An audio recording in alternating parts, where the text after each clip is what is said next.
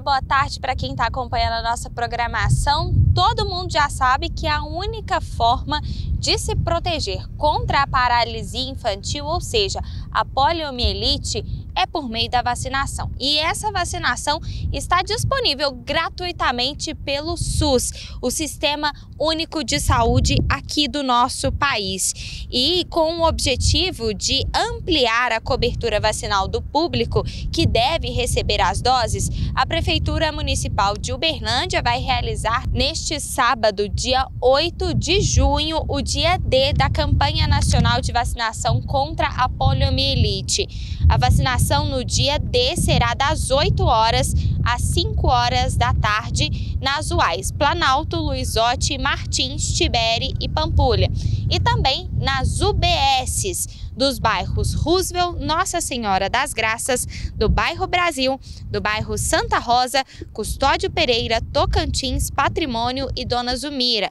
E também nas UBSFs do bairro Jaraguá, Shopping Parque 1, São Jorge 2, Piquis, Morumbi 1, Dom Almir e Canaã 2. Além disso, também das 8 às 5 horas da tarde, no Terminal Central e no espaço Mundo da Criança do Parque do Sabiá. E esse ano, uma novidade muito bacana em parceria com as redes privadas, a Prefeitura vai disponibilizar a vacinação contra a poliomielite das 10 horas da manhã até as 5 horas da tarde no Uberlândia Shopping.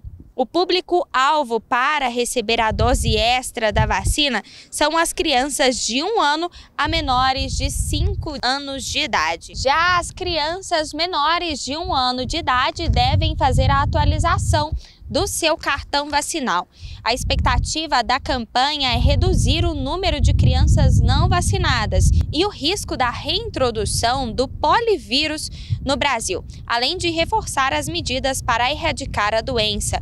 O índice de cobertura vacinal em Uberlândia acompanha a média nacional, que também está abaixo do esperado, que é 90%.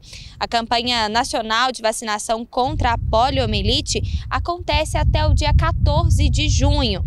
De acordo com o Ministério da Saúde, o Brasil não registra casos de poliomielite desde 1989 e cinco anos depois, em 1994, recebeu o certificado de área livre da circulação do polivírus selvagem.